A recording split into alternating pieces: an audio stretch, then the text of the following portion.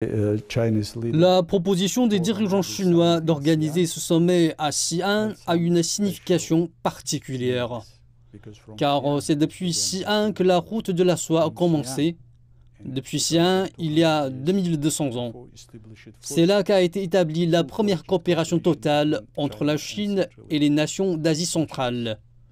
Lorsque nous parlons de notre modernité et de notre futur, nous regardons toujours l'histoire de notre coopération.